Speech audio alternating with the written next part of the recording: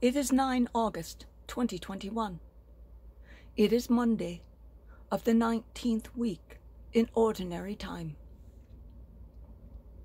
Our first reading comes from the book of Deuteronomy.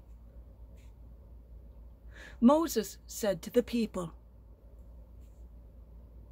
And now, Israel, what does the Lord, your God, ask of you? But to fear the Lord, your God and follow his ways exactly, to love and serve the Lord your God with all your heart and all your soul, to keep the commandments and statutes of the Lord, which I enjoin on you today for your own good. Think. The heavens, even the highest heavens, belong to the Lord your God as well as the earth and everything on it. Yet, in his love for your fathers, the Lord was so attached to them as to choose you, their descendants, in preference to all other peoples, as indeed he has now done.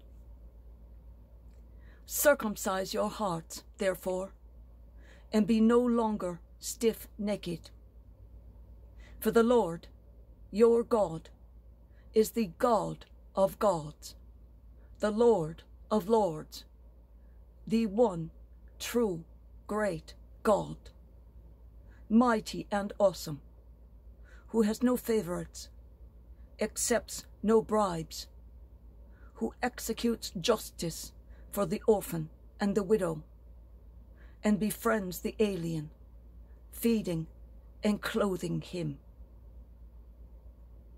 so you, too, must befriend the alien.